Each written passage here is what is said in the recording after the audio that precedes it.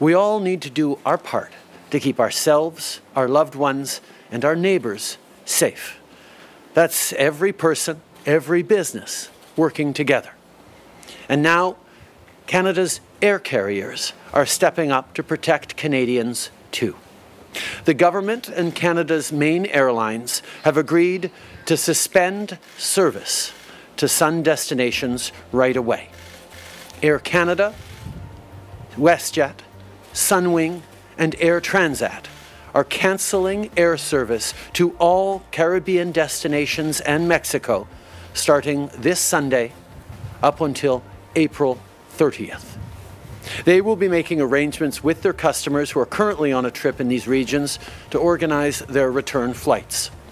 I'd like to acknowledge the leadership of Air Canada, WestJet, Sunwing, and Air Transat in making this commitment to suspend flights and be such strong partners in the fight to curb the spread of COVID 19 and its variants. We appreciate the work the Canadian Airlines and their frontline workers have done to make air travel safer and to bring Canadians home when this pandemic struck last spring. With the challenges we currently face with COVID 19, both here at home and abroad, we all agree that now is just not the time to be flying. By putting in place these tough measures now, we can look forward to a better time when we can all plan those vacations. Our government is committed to the safe restart and recovery of the Canadian travel and tourism sector as soon as conditions approve, ideally later this year. As part of this effort, the Government of Canada has committed to work with the major airlines on the future relationship between testing and quarantine requirements. This will enable the safe, gradual return to international air travel grounded in science and evidence.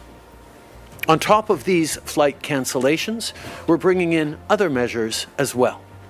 Starting next week, all international passenger flights must land only at the following four airports Vancouver, Calgary, Toronto, and Montreal. In addition to the pre boarding test we already acquire, as soon as possible in the coming weeks, we will be introducing mandatory PCR testing at the airport for people returning to Canada. Travelers will then have to wait for up to three days at an approved hotel for their test results at their own expense, which is expected to be more than $2,000. Those with negative test results will then be able to quarantine at home under significantly increased surveillance and enforcement. Those with positive tests will be immediately required to quarantine in designated government facilities to make sure they're not carrying variants of potential concern. We will also, in the coming weeks, be requiring non essential travelers to show a negative test before entry at the land border with the U.S., and we're working to stand up additional testing requirements for land travel. Just like vaccines, I know that border measures are also on a lot of people's minds. Recently, I had a great chat with Annette from Ottawa. She had written to me about people vacationing abroad and, as she put it, ignoring rules that had been in place for quite some time. Annette, today I want to tell you what else we're going to be doing about this. In addition to suspending flights to sun destinations, international flights are now arriving at only four major Canadian airports. And no matter the flight, everyone must have proof of a negative PCR test taken within 72 hours of boarding. Starting today, people returning by land borders will also need to show proof of a negative PCR test taken within 72 hours before arrival.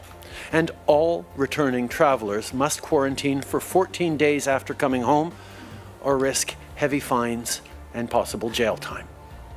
These are some of the strongest measures in the world. But with new variants emerging, we're stepping them up even further. Later today, Ministers Hajdu, Blair, and LeBlanc will announce the details of new testing, quarantine, and enforcement for everyone flying or driving back to Canada. These measures will take effect starting February 22nd.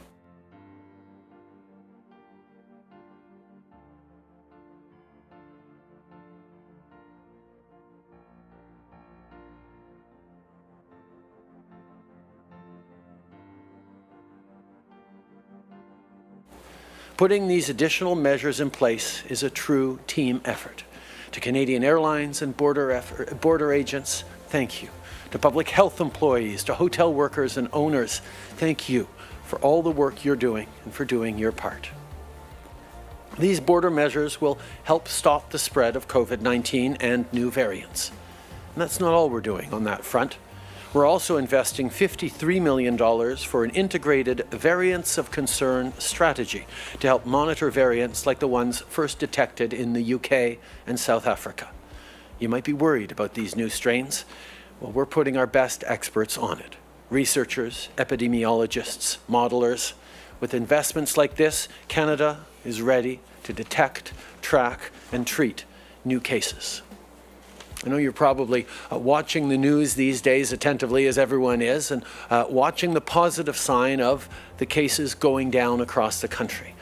That is uh, a good step in the right direction, but we also know at the same time the new variants that are more communicable, uh, more easily transmitted, are increasingly out there.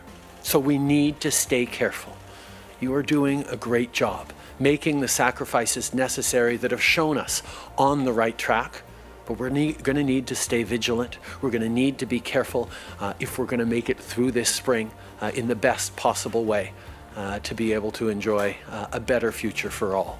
Because nobody wants a third wave to start, particularly not one comprised of new, more communicable vari uh, variants that uh, can cause real challenges. Today, I also want to talk about what we're doing to support everyone, no matter who you are, during this global crisis. In the last year, we've seen once again how tough times fall first and hardest on the most vulnerable. The legacy of this pandemic must not be some people getting ahead while others fall behind.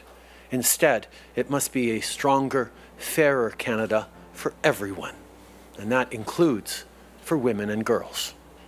Already, we've invested in everything from safe places for women and girls to stay to moving forward on an action plan for women in the economy. And we're not stopping there. As Minister Monsef announced yesterday, we're launching Feminist Response and Recovery Funding. This will support organizations that work to end violence against women and girls, that invest in their economic security, and that empower women leaders. Better days are ahead of us.